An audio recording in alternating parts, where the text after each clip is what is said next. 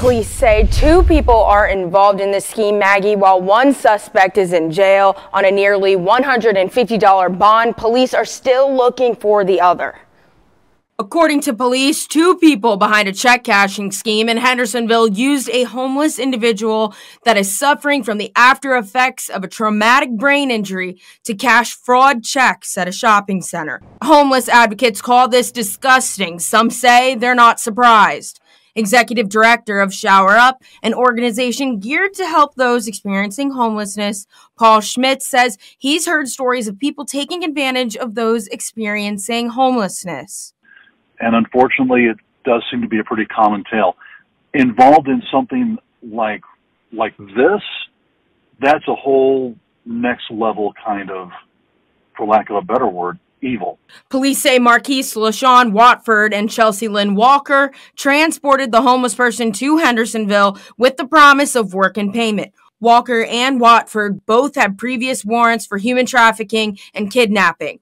Walker was taken into custody for outstanding warrants and is behind bars in Sumner County. And Watford is believed to be at large in North Carolina. For Schmitz, he says kindness doesn't cost a thing, and taking advantage of someone who's already having a hard enough time is disturbing. And to utilize that for harm, that's that's a pretty terrible thing to do. That's um, that's kind of the worst of the worst.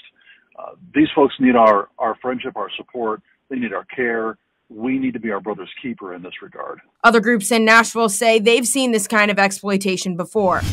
Now, Metro's district attorney says about 200 people in Nashville are considered incompetent, meaning if they commit a crime, they'd be set free. Fox 17's Kylie Walker joining us live at the Metro Courthouse, where many of these cases end up getting dismissed.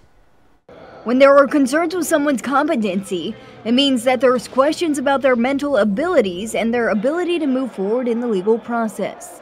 A forensic evaluation team at Vanderbilt provides court ordered evaluations. They not only look into the defendant's criminal case, but their past history. And we're also observing them. We're observing their behavior, we're observing their speech, we're noticing their thought process. And for those repeat offenders, we asked Dr. Kimberly Brown with Vanderbilt if there's a chance they could trick the system. And be able to trick them in any way uh, to be deemed incompetent so that their case is dismissed. Sure, that's something we're always vigilant for. We're, we, in this profession, forensic psychology, we're always looking for individuals who are attempting to exaggerate or feign their problems Brown adds that oftentimes those deemed incompetent are so disorganized and detached from reality that they're not accurately tracking what's happening. If someone is competent enough to commit a burglary, how are they deemed incompetent later on uh, by medical health professionals? The ability to commit a crime is a really base level ability. So, you know, the ability to have an action and commit a crime is very different than the ability to understand what you're being charged with, what the consequences are, what the people in the courtroom do. Now, Brown tells me up to 70% of those committing misdemeanors are found incompetent at first. But there's still a chance for those offenders to become competent down the line through medication and proper training. Housing advocates tell me that senior community closing down displaced about two dozen senior citizens and gave them just 60 days to find something new to a new place to live. Now, once advocates helped started helping them find that new place to live, they realized that there was three main issues at play here: affordability, availability, and accessibility. Cardboard boxes and stacks of furniture crowd the apartment of 71 year old Frances Jones. It's the same price as her old apartment in the North Park senior citizen community, but half the size and far less comfortable. It was convenient. It was neighborly. It was people cared about each other. She was forced to leave the community she called home for five years after the property sold to make way for new development. She and two dozen neighbors scrambled to find new homes within their modest budgets. Many senior citizens like Frances live on fixed incomes, which don't rise to meet demands of inflation and rent prices. You work 30 and 40 years out here for this little money.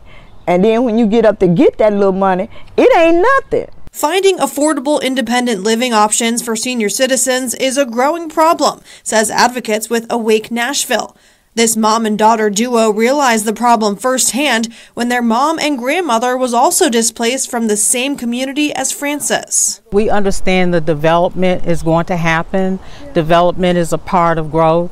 But what we don't want is for the development to leave out the most important fabric of our community, the foundation of our community, our seniors. Awake is now partnering with a local real estate company to come up with new solutions for affordable, independent senior living.